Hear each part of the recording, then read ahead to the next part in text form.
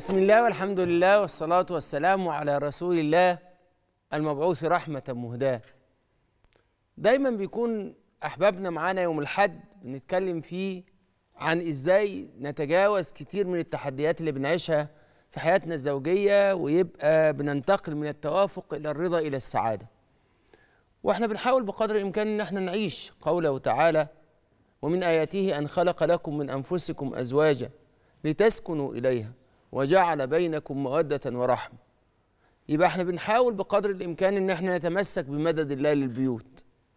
النهاردة بالذات هنتكلم عن حاجة بتحصل في كتير من البيوت وكتير من الناس ينكروا إن هي موجودة مع إنها موجودة. عارفين التحدي بتاع النهاردة اللي بيظهر في كتير من البيوت وما ينفعش نسكت عنه؟ ما ينفعش نسكت عنه لأن هو في الحقيقة كل ما كنا بنتكلم عن حاجات خفية بتفسد البيوت وبنقدر نتعامل معها ونتجاوزها هو ده محل العمل اللي حضرة النبي صلى الله عليه وسلم بيحبه وهو إصلاح ذات البين. تعالوا نشوف التحدي بتاع النهارده بيقول إيه. التحدي. بتاع النهارده بيتكلم عن العلاقة الانتقامية ما بين الزوجين. أول ما يسمع الزوجين كده يقولوا ما فيش علاقة انتقامية خالص الحمد لله ما عندناش الكلام ده. طب تعالوا نشوف. نشوف حالات عندها تحدي كبير في علاقتها وهي إن طرف من الأطراف ماله حاسس إن شريكه عايز ينتقم منه ومش شايف فيه سبب لده.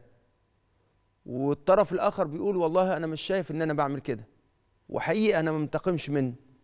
ده أنا بحاول بقدر الإمكان إن أنا أساعده يكون أفضل.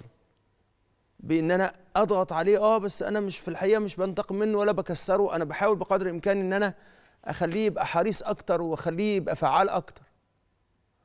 وفي أوقات الزوج بيكون حاسس إن بينه وبين زوجته تاريخ من المشاكل وفي ضغط نفسي عليه وهو بيتعامل معاها.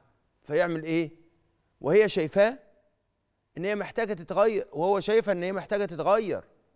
ليه طيب محتاجة تتغير؟ لانها دلوعة وعمرها ما اتحملت المسؤولية.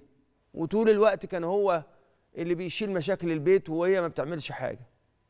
والزوجه برضو بتكون كل اللي عاوزاه إن هو يتوقف عن الطريقة اللي بيعملها بيها ويبطل العنف. مش قصد الضرب طبعا الضرب دي جريمة وكمان حرام. ولكن تصرفاته إن هو يوجعها وإن هو يأذيها وإن هو يقول لها كلام من تحت لتحت وهي تتجرح وتتضايق ويهددها وكمان يقارنها بغيرها. وكل أو يزعق الأولاد على حاجة هي اللي قالت لهم تعملوها. وهي ملهاش ذنب في ده كله المشاكل اللي بينها وبين أهله مثلا يحاسبها عليها. طب هم بيعملوا كده كده ليه؟ لأن هم في الحقيقة نفسهم مش طيبة. وبيحاولوا يعملوا الكلام دوت ساعات من غير ما يدروا. وعشان كده بنلاقي مش مشكلة ما بين الطرفين إن في ندية في العلاقة. أول ما بيبقى في ندية في العلاقة بنشم ريحة الإيه؟ ريحة الانتقام. وكل طرف بيطلب من الطرف الثاني إن هو يسلم يذعن بقى. سواء إن هو يذعن باستخدام الدين زي الراجل في حالة ما يستخدم مفهوم القوامة أو الست لما تستخدم مفهوم الرحمة. وإحنا وصية حضرة النبي صلى الله عليه وسلم. وساعات يستخدم في الانتقام كمان إيه؟ العلاقة بالأهل. هتسمعي الكلام ولا ما فيش زيارة لأهلك؟ وبنعرف هنا إن في علاقة انتقامية بدأت تظهر ما بين الزوجين. لو ما سمعتيش الكلام مش هتروح لأهلك. وأنت لو ما رحمتنيش هدعي عليك. آه ده انتقام خلاص يعني كده ده انتقام رسمي. والزوجين ساعات ما بيبقوش عارفين إن ده انتقام وبيستغربوا لما نقول لهم ده وينكروه. بس هي بتحصل لما يكون أسرة الزوج والزوجة كمان بيتدخلوا ما بين الزوجين. ويا سلام بقى أشهر حالة انتقامية بتبقى ما بين الزوجين إمتى؟ لما يكون الأهل ما كانوش موافقين على الجواز وهم اتجوزوا. فإيه اللي حاصل؟ فتحصل مشاكل والزوجين بيحبوا بعض فيتجوزوا والأهل مش موافقين. فإيه اللي يحصل؟ فبعد شوية نكتشف بقى إن إيه؟ إن إحنا مختلفين. فإيه اللي حاصل؟ تقول والله ده أهلي كان عندهم حق. وأنا اتحملت. أو هو يقول والله أهلي كانوا عندهم حق. وأنا يبدو ان أنا أخطأت في القرار ده. فيبتدوا الأهل يضغطوا. فيبتدي هو ينتقم على التكلفه اللي هو تكلفها في الجوازه أو إن هي تبتدي تنتقم عشان هو مش حاسس بقد إيه ضحت علشانه. ونكتشف بقى إن الأهل كانوا بيتدخلوا من تحت لتحت. وبدون ما يشعروا في كل التفاصيل كل تفاصيل علاقتهم مهما كانت بعيدة عن طريق الت- التحريض ساعات وساعات التلميح. وطرق كتيرة مباشرة أو غير مباشرة. وممكن كمان الزوج يستعرض بعض الأمور اللي هي صعبة عليه أهل الزوجة زي القايمة ورفضهم ان ورفضهم إن هو ورفضهم إن هو يتجوز بنتهم والفواتير اللي دفعوها له كتير وعملوا له مشاكل وهي بتدفع بتدفعوا فاتورة كمان يعني كمان ممكن تدفعوا فاتورة إيه؟ تدفعوا فاتورة رفض اهله أهله ليها عشان كده لازم نعرف إن الجواز مش ساحة للصراع. ولما الجواز بيتحول لساحة من الصراع اللي بيحرك الاثنين الانتقام. هي تقول ده بيتعامل معايا كأني عدوته. وهي كمان بتقول ده بيتعامل معايا كأني عدوته. ساعتها بنعرف إن الجوازه تحولت إلى ساحة من الصراع. وإن بيحركهم مش المحبة ومش المودة اللي بيحركهم الانتقام.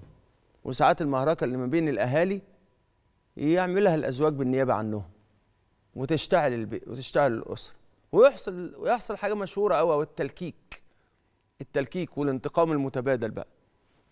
ويغيب السكن والمودة والرحمة. ومين اللي بيتفرم؟ الأولاد. والأولاد يبتدوا يعانوا. وهنا ساعات السن بيكون عليه عامل. فمثلا لو هو كبير في أخواته فهو المفروض كلمته بتتسمع وإن هي تقدره. وهي مثلا الصغيره في إخواتها فهي الدلوعة. فالاثنين لما يبقوا مع بعض كده وكل واحد شايف إن هو نجم في أسرته يبقى إيه اللي بيحصل لما بيجي بقى؟ يحصل التنافسية.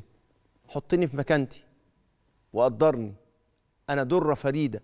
وهي يقول لها لازم تحترميني. أنا صاحب الكلمة. وأنا كلمتي هي اللي تمشي. وعايزها تذعن ليه؟ عشان هو الكبير وهي عايزة تترحم وتتدلع. ليه؟ عشان هي الصغيرة. فإيه اللي يحصل؟ يحصل خلاف ضخم. لكن تعالوا نشوف حضرة النبي صلى الله عليه وسلم لما كان بيتعامل عشان يعلمنا إزاي نتجنب ده. حضرة النبي صلى الله عليه وسلم كان دائما يتغاضى. ما كانش حضرة النبي صلى الله عليه وسلم يعلمنا التراكم. ولذلك ما تسيب لو انت مثلا عندك مسألة إن هي أهلها عملوا وعملوا وعملوا وعملوا. حضرة النبي صلى الله عليه وسلم يقول خيرهم الذي يبدأ بالسلام. السلام هنا مش إن هو يقول سلام عليكم. السلام يعني إيه؟ المسالمة. خلاص انتهى. ده كان زمان. العيش في الماضي ليس من شيمة العقلاء والحكماء. أنت بتعيش الحياة. أنت تزوجت بنتهم وخلاص وبقيت ابنهم. لما تفضل تكتر ده وتفضل تعيشه. هذا مش من شأن الحكماء. لأن الكيس من دان نفسه وعمل إلى ما بعد. الكيس هو اللي بيبص لقدام مش بيبص لورا. وعشان كده العلاقة دي هيكون فيها عدم توافق لما الناس تبص لورا. إلا لو كان الشخص بياخد مبادرة إن كل اللي حصل بينا انتهى. لكن لما ياخد بقى دور الناقد وحاول بقدر الإمكان إن هو يقهر اللي قدامه المسألة هتوصل فيها إن إحنا قد نستخدم الشرع في انتقامنا من بعض. فهو يقول لها ما تخرجيش من غير إذن. أه حقي ولا مش حقي؟ حقك. وهي تقول له أنت بتاخد من الشرع اللي أنت م- على مزاجك. وأنت بتنفذ كل الشرع يعني؟ يعني أنت أصلا بتحسن إلي؟ أنت بتقف جنبي؟ أنت بتراعي البيت؟ ما حضرة النبي قال كلكم راع وكلكم مسؤول عن رعيته الرجل راع وهو مسؤول عن رعيته إحنا مش برعيتك. وانت كنت يعني بتقف جنبنا ولا بتبقى موجود معانا ولا انت سايب كل الحمل عليا. فيتحول الدين والشرع إلى إيه؟ إلى والقيم كمان. القيم كمان لما تيجي تقول له فين الرجولة في اللي انت بتعمله ده؟ وهو يقول لها فين الرقة وفين الأنوثة في اللي انت بتعمليه ده؟ فيتحول الدين والقيم أداتين من أدوات الانتقام. حضرة النبي صلى الله عليه وسلم علمنا شيء مهم جدا في علاقتنا في علاقتنا بأزواجنا وزوجاتنا. إيه؟ علمنا لما قال للسيدة عائشة لما قال لها إني لأعلم متى تكوني عني راضية ومتى تكوني عني ساخطة. ما كانش حضرة النبي صلى الله عليه وسلم يقصد فقط اللي إحنا فهمناه إن هو حضرة النبي يعرف إمتى هي بتغضب وإمتى لكن حضرة النبي صلى الله عليه وسلم عايز يقول لها إيه؟ أنا مش هاخد على أنا مش هزعل إن أنت بتكوني ساخطة عني. ولذلك السيدة عائشة لما قالت له كده راحت قالت له إيه؟ والله لا أهجر إلا اسمك يا رسول الله. يعني هو عايز يقول لها إيه؟ أنا عارف إن أنت بتسخطي عليا بس أنا كمان ما بنتقمش منك. هي حست بده فحست بأمان. وإيه اللي حاصل هنا؟ ومن هنا نعرف إن كل واحد فينا لازم يكون مخلي باله من السلوك العريانة اللي عند شريك حياته. ما يجي فحضرة النبي صلى الله عليه وسلم قال لها أنا عارف إن إيه؟ أنت لما بتكوني زعلانة بتقولي إيه؟ فأنا ساعتها مش هقف لك على الواحدة. لأن ده هيخليكي تحس بإنك أنت مش مفهومة وتضطري عشان تفوقي اللي قدامك ممكن تنتقم يبقى نعرف منين إن اللي بي... اللي اللي, اللي بيعمله شريك حياتنا ده ده نوع من أنواع الانتقام. لما يكون في ثلاث عوامل وهي المواظبة على التقصد مع التوقيتات المعينة اللي بيحصل فيها ده. فيكون ده اسمه انتقام. مش إيه؟ مش ندية ولا عناد. يعني إيه؟ في حد قاصد إن أنا لما أجيب الموضوع ده إن هو يعمل إيه؟ يظهر الرفض. وفي الوقت ده بالذات ما يسيبش الموضوع ويفضل ماسك فيه. آه ده انتقام. أنا على فكرة أنا بقول انتقام عشان إيه؟ عشان ننتهي بها مش عشان تقول له أنت بتنتقم مني يبقى أنت إنسان مش كويس. لا عشان ننتبه إن في حاجة عنده هو مش مش قادر تمشي. هو مش قادر يسامح. يبقى في اللحظة دي هنعرف هنعمل إيه. يبقى أول علامة لما يكون في أوقات معينة وفي حد بيترصد. وحد قاصد إن هو يمارس الوقوف والوقوف على الواحدة في الوقت ده. في الأوقات اللي مش بيكون الزوجين مركزين فيها بيحصل بينهم العداوة الزوجية. يفضل الانتقام الانتقام الانتقام لغاية ما يحسوا إن هم أعداء. فيبتدي كل واحد يحس إن التاني بيتعامل معاه على إنه عدو. وأكتر حاجة بتصنع العداوة الزوجية هي الانتقام الزواجي.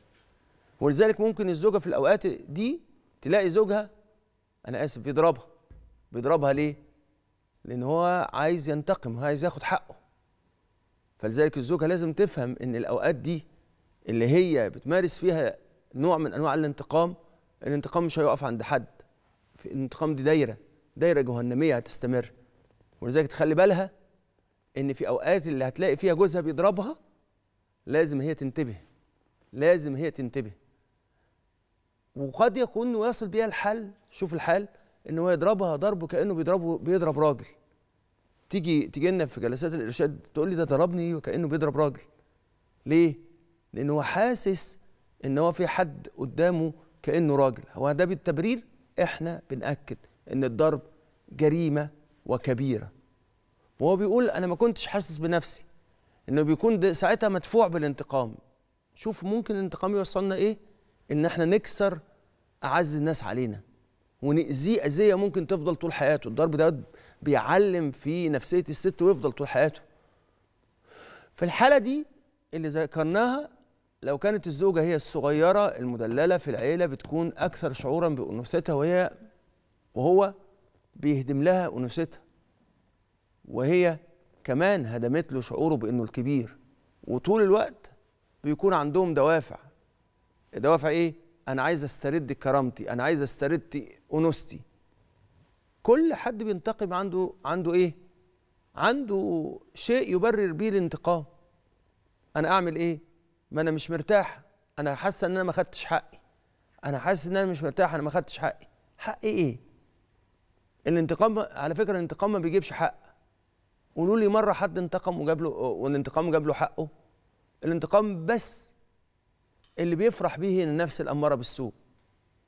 شوف حضرة النبي صلى الله عليه وسلم لما سيدنا أبو بكر منع العطية اللي كان بيعطيها المصطح ألا تحبون أن يغفر الله لكم؟ فإيه اللي حاصل؟ قال أحب والله يا رب. فرجع العطية مرة تانية. يبقى إيه اللي حاصل؟ يبقى ليس الواصل والمكافئ. وكذلك ليس المعتدل بمن ينتقم لأخذ حقه. لا ده مش هو ده الاتزان. الاتزان مش انك انت تنتقم عشان تاخد حقك بنفس الوسيلة اللي حصل لك فيها المهانة أو بنفس الوسيلة اللي حصل لك بيها الإهانة. وبعض الأزواج بيقولوا أنا بيتضغط عليا عشان أنا بضغط عليها بس عشان إيه؟ بيقول ساعات كده أنا بضغط عليها علشان تطلع اللي جواها. لأن هي جواها كويس. يا سلام! إيه العبقرية دي؟ يعني إيه عشان أنا جواها حد كويس؟ فتضغط عليها بالانتقام عشان تطلع الشخص الكويس اللي فيها. آه أنا أعرف في ناس تربويا حتى بيعملوا مع أولادهم كده. ما يقولوش لأولادهم كلمة حلوة ويقولوا كلام أولادهم كلام صعب عشان يطلعوا اللي فيه. بس على فكرة ده حصل نتيجة عكسية. وجت نتيجة عكسية. النتيجة العكسية إن هي إيه؟ إن هي كمان تحولت إلى وحش. يبقى في حاجة لازم ناخد بالنا منها عند الأزواج المنتقمين. إن ترك المصارحة يؤدي إلى المجارحة. إن إحنا ما بنصارحش بعض هنجرح بعض بعد كده. هنبقى خشنين هنأذي بعض. يعني الشخص الانتقامي عنده طريقة كده إنه يجمع صور شريك حياته ويخليها وحشة. اللي أنا بسميه إيه؟ شيطانه شريك الحياة. هي تشيطنه وهو يشيطنها. أنا ما حدش عمره عمل فيا كده غيرها. هي اللي كسرتني وهي اللي خلتني ما اسويش حاجة. هي اللي أفقدتني ثقتي بنفسي وهو اللي خلاني مش حاسة إن أنا أنثى. دمرتني. أنت اللي دمرتني. فالإحساس ده ما ينفعش إن إحنا نعيشه. خليني أقول لكم قبل ما نقول الإجراءات شوية إن الانتقام ده في الحقيقة بيحسه الإنسان لما بيحس إن هو مهدد. أنا مش ببرر أنا بفسر عشان محدش يفتكر إن إحنا لو وصلنا إلى مرحلة الانتقام انتهت الحكاية ابدا. خالص. بالعكس وصلنا لمرحلة الانتقام نقدر نرجع مرة تانية. يبقى الانتقام ابدا. لازم نفهم إن الشخص اللي بنت... إنتوا الاثنين لما تنتقموا من بعض إنتوا كل إنتوا الاثنين كنتوا حاسين بتهديد. فكل واحد فيكم حاول يحمي نفسه.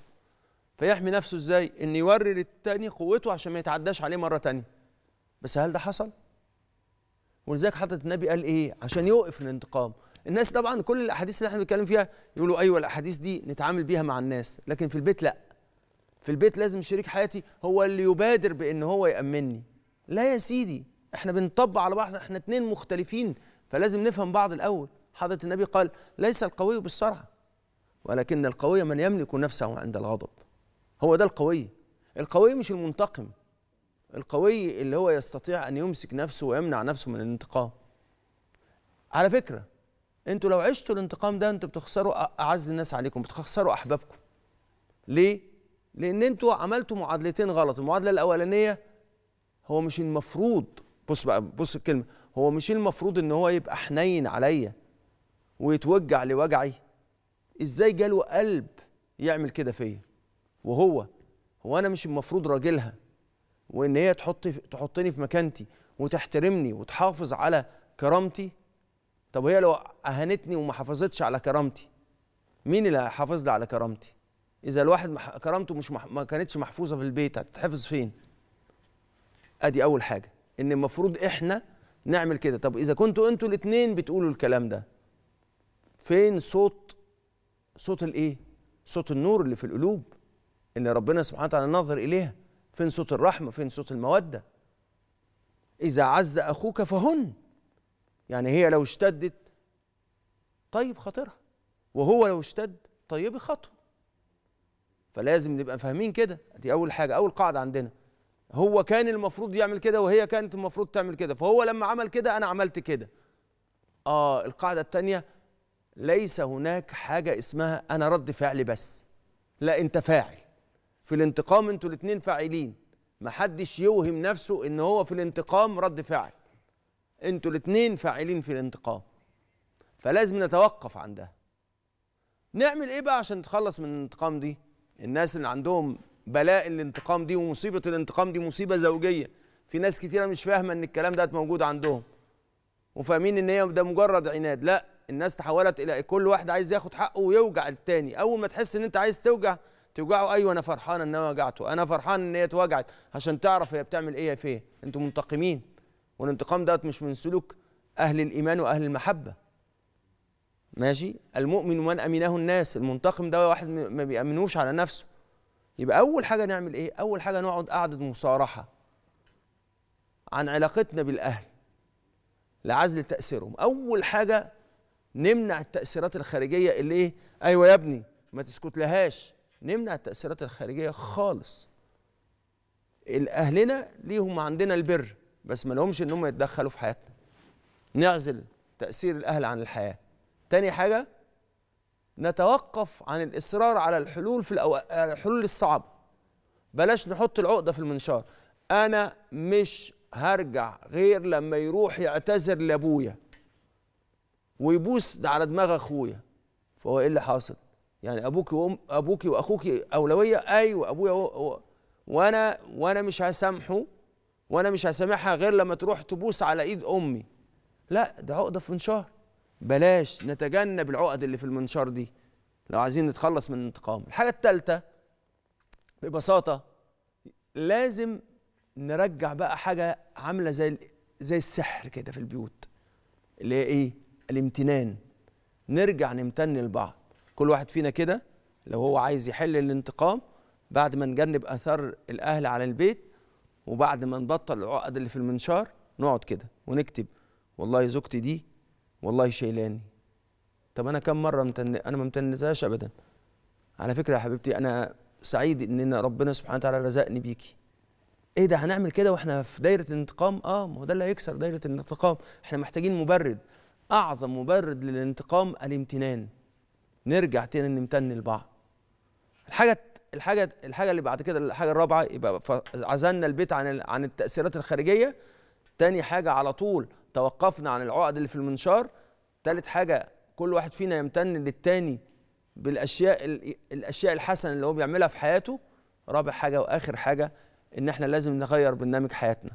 ولازم أول حاجة نغيرها في برنامج حياتنا إني أوقات ما الدنيا تشتعل نقرر إن إحنا نصمت ونؤجل النقاش لوقت آخر محدد نرجع فيه زي الساعة نتكلم ونتناقش ومن أفضل الحاجات اللي بتخلص على الانتقام الحوار.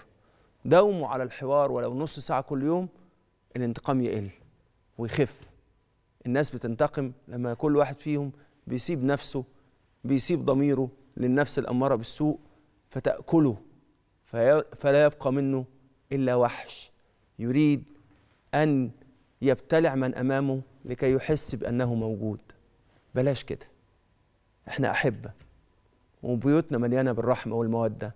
فتعالوا نمسك في مدد ربنا وأكيد لو مدينا إيدينا واحتضنا أحبابنا أكيد النور هيسري في قلوبنا وربنا ينظر إلينا بنظر المود بنظر الرحمة وبنظر الكرم وبنظر اللطف. تلطف ببيوتنا يا رب واطفئ الانتقام بأنوار المحبة. يا كريم يا ودود يا رب العالمين. بعد الفاصل نلتقي بحضراتكم. الموضوع كان ساخن جدا جدا جدا. بعد الفاصل نلتقي بحضراتكم ونجيب على أسئلتكم المباركة ولكن بعد الفاصل.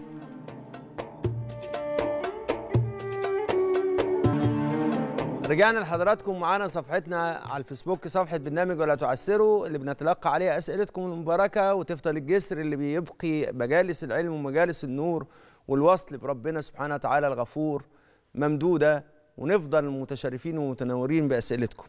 ونبتدي مع أول سؤال النهاردة أستاذ محمود من الشرقية. أستاذ محمود. أستاذ محمود.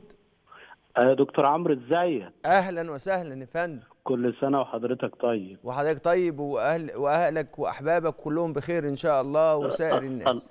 الله يبارك لك الله يبارك لك اتفضل يا فندم.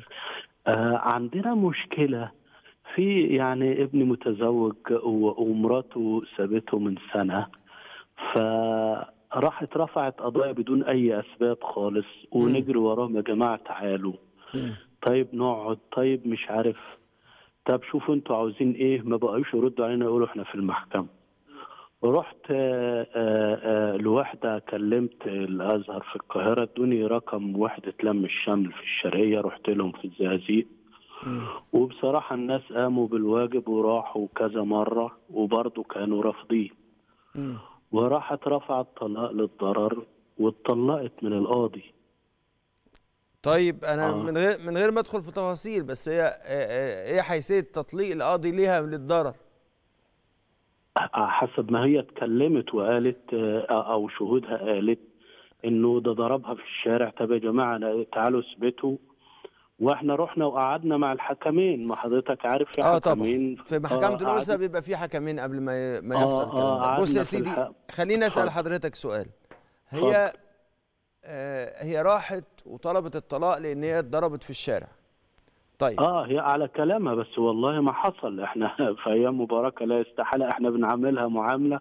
زي آه، آه، أولاد إحنا عندنا أولاد زي بن طب خليني أسألك يا أستاذ محمود لأن ال-. ال- يعني ال- البكاء على النبي المسكوب ليس إحنا دلوقتي بنسال حضرتك بتسأل إن حاسس إن أنت اتظلم إن ابن حضرتك اتظلم بإن هي خدت حقوقها ولا إحنا بنسأل لأن عايز نوجه لها كلمة بإن هي ترجع عشان أولادها إيه السؤال بالتحديد هو أنا بتكلم إنه إحنا إحنا لما راحت المحكمة وكده إحنا عاوزين كنا عاوزينها ترجع. للأسف ده إنهم لما وهل ده وهل دوت مرادكم لغاية دلوقتي؟ نعم. وهل ده مرادكم لغاية دلوقتي؟ هل أنتوا عايزين ده لغاية دلوقتي؟ آه والله ما اتغيرنا خالص. إحنا طيب هم هم هم بين بينهم أولاد؟ آه طبعا في طفل بقاله آه، سنة معاها آه, آه ابن السنة يعني. طيب هم جوازهم استمر كام سنة؟ ثلاثة ولا حوالي- ثلاث سنين؟ لا لا لا لا, لا ده حوالي سبع ثمان شهور يعني بس. تعبتنا فيهم جا- جامد و...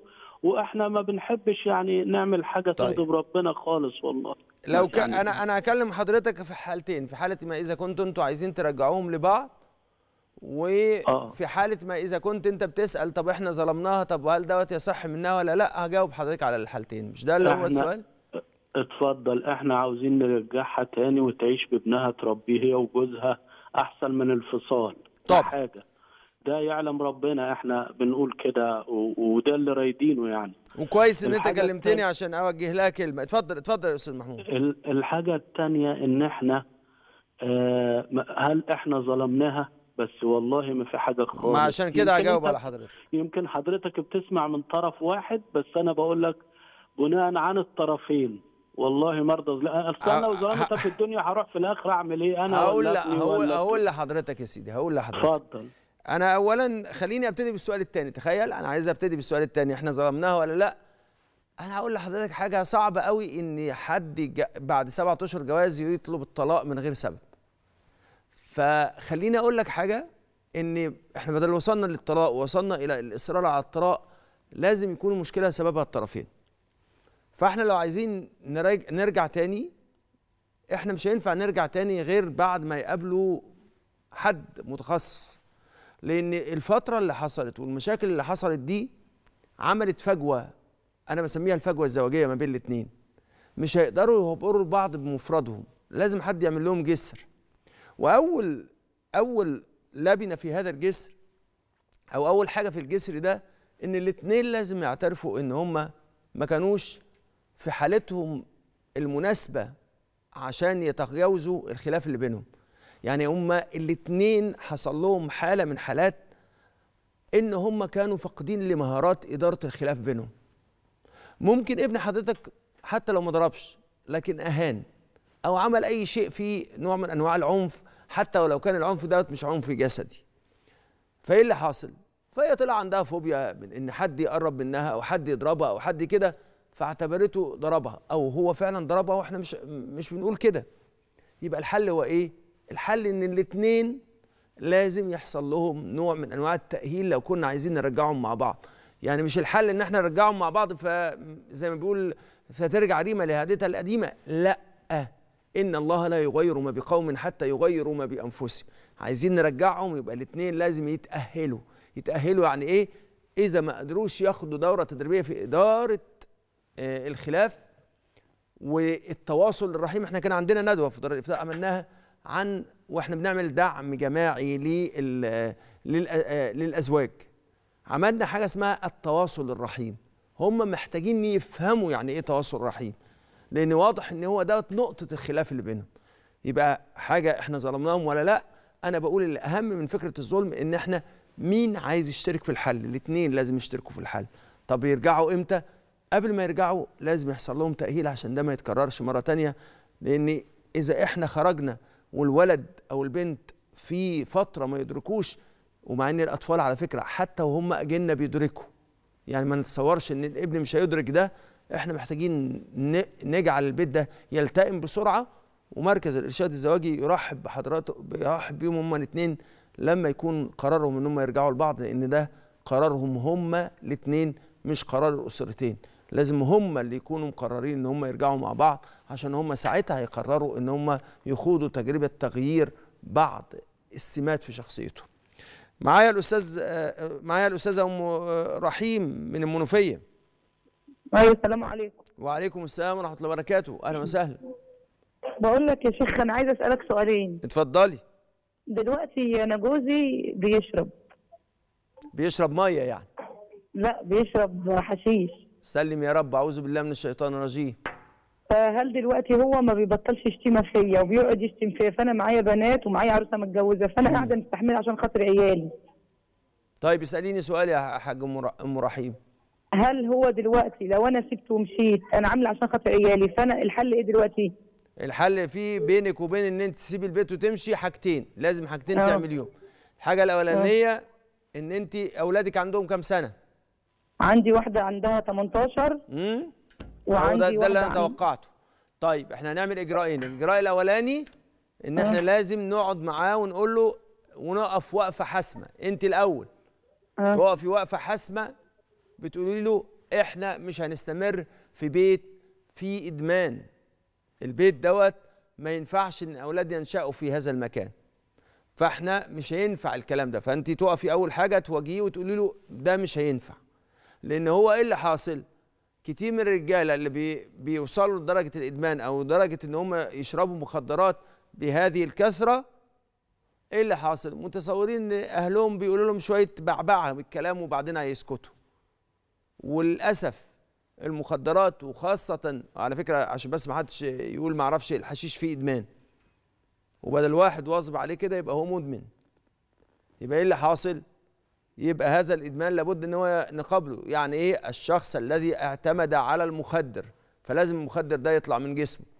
فلازم هو يحس إن في حاجة بتنقص من حياته. فإيه اللي هيحصل؟ هنواجهه الأول. طب والحاجة الثانية أنا قلت لك في حاجتين. الحاجة الثانية هننقي أفضل ما خلاص بدل الأولاد عارفين وهم كبار في السن ومدركين هننقي أقرب ابن من الأبناء ويبتدي يكلمه. ويقول له أنا عايز أعيش معاك بس أنا مش هقدر أعيش معاك بهذه الطريقة. أنا حياتي بتتدمر أنا مش عايز أشوفك كده. وإحنا مش هنقدر نشوفك كده لأن إحنا بنحبك. فلا بد إن أنت تسيب تسيب الإدمان ده. وبعدين يدخل أولاده يدخل باقي الأولاد ويقولوا له نفس الكلام ده. إحنا لازم نعمل كده. لأن إحنا لو ما عملناش كده يبقى إحنا ما كناش عون له. انصر أخاك ظالما أو مظلوما. قالوا علمنا كيف ننظر منظوما يا رسول الله فكيف ننصره ظالما؟ قال أن نرده عن ظلمه. يبقى أنتوا لازم تعملوا الكلام ده.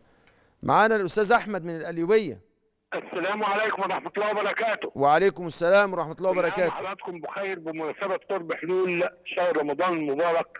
أعداء الله عليكم وعلى فريق العمل وعلى العالم أجمع بالخير واليمن والبركات. يا رب إن شاء الله. احترامي وتقديري لفضيلتكم دكتور عمرو الورداني. الله يعز منبع حضرتك العلم ومنشأه. الله يرضى عنك. اتفضل يا أستاذ أحمد. سؤالي لحضراتكم مع حضراتكم أحمد هروب من غرب شبرا الخيمة. سؤالي لحضراتكم هل يجوز شرعا أن تضيف الزوجة بندا في بن... في عقد الزواج ألا يتزوج زوجها من غيرها؟ طيب. الشرع في هذا. في سؤال تاني؟ شكرا جزيلا لحضراتكم وفضيلتكم وفريق العمل الشرط دوت اسمه شرط الخلة اللي هي ما, ما يتجوزش عليها وفي الحقيقة ال- الشرط ده بيتنازعوا حاجتين. هل هو بيخالف مقتضى الزواج؟ اللي هو إيه مقتضى الزواج؟ مقتضى الزواج إن الزوج حر. حر يعني إيه؟ إن مفيش حاجة تقيد حريته في إن هو أو تسلبه حق شرعه الله له. أنا شوية ده اللي عليه جماهير الفقهاء. الحاجة التانية لا ده يجوز لها إن هي والشرط دوت مش شرط. إحنا بنتكلم في الشرط ده بخصوصه مش في تقسيم الشروط. إحنا عندنا ثلاث أقسام في الشروط. في شرط آه، موافق لمقتضى العقد في شرط مخالف لمقتضى العقد في شرط زائد عن مقتضى العقد. فالشرط دوت بعضهم قال ده مخالف لمقتضى العقد معقد الزواج وبعضهم قال لا ده شرط موافق لمقتضى العقد ده من حقها.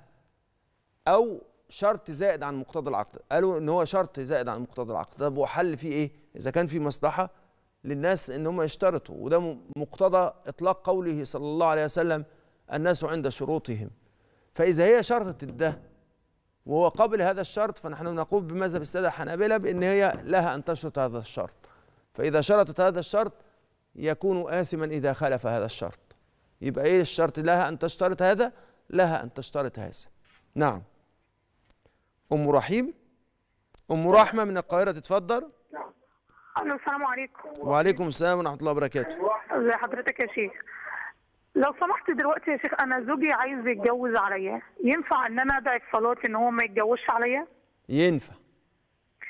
طيب هو دلوقتي أنا عايزه رقم حضرتك عشان في موضوع مهم عايزه أكلم حضرتك فيه. حضرتك حضرتك خدي الرقم من الكنترول بس هو ينفع إن أنت تدعي إن ربنا إن هو ما يتجوزش عليك لأن دوت ما طيب. فيهوش اي ضرر ولا في اي حاجة انت عايزه فقط ان انت ان زوجك يكون ليكي ويقوم بمسؤوليته ويحتويكي ويحافظ على بيته. وينفع اصلي صلاه استخاره ان أنا إن هو يعني يتجوز عليا ولا ولا يطلقني؟ احسن ليا؟ لا أنا مش عايزك تفكري بالطريقة دي. فكري بالطريقة ان انت تحافظي عليه احسن. خلاص؟ طيب. والله أم رحمة دي ست طيبة. بص يا س... بص يا ست أم رحمة بلاش تخ... حط نفسك في خيارات دايما. الخيارات دي تمزق قلبك وتوجع قلبك. خليكي ماشية في الإقبال على الله. إقبلي على الله سبحانه وتعالى وربنا يغير الأحوال. ربنا سبحانه وتعالى كريم.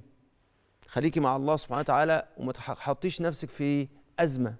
خلي دايما تفكيرك متعلق برحمة ربنا وإن شاء الله ربنا سبحانه وتعالى يبارك لك وإن شاء الله يفتح عليكم ويديم بينكم المودة والرحمة ويزيل أي وجع عنكم ويخليكم إن شاء الله البعض ويحفظكم يا رب من كل مكروه وسوء ويجعلك في خير حال أنت وزوجك وأولادك إن شاء الله. يا سادة إحنا النهاردة اتكلمنا عن دايرة لازم نكسرها. مش هيكسرها غير الشخص اللي واثق من نفسه مش هيكسرها غير الشخص النبيل مش هيكسرها غير الشخص الأمين. مش هيكسرها غير الشخص اللي بيحب الله ورسوله. اكسروا دوائر الانتقام في البيت. وما تسموهاش أسماء تلطف الموضوع. ما تسموهاش هناد ما تسموهاش آه، مكايدة للأسف هي اسمها أقبح من كده وهو الانتقام. توقفوا عن الانتقام. من أراد أن يكون في جنة الملك العلام فليترك الانتقام. ومن أراد أن يكون في صحبة خير الأنام فليترك الانتقام. ربنا رحيم بيحب الرحمة ورؤوف بيحب الرأفة وكريم سبحانه وتعالى بيحب مكارم الأخلاق. خليكم دايما متمسكين بمكارم الأخلاق ومحدش أبدا. لا هينقص من كرامته بل هيزيد من مكانته ومقامه عند الكريم سبحانه وتعالى. فما أكرم إلا كريم وما أهان إلا لئيم. يا ربنا يا رب اجعلنا دايما من أهل الكرم عشان ندخل عليك. من باب الكرم في أشهر الكرم يا كريم يا ودود يا رب العالمين.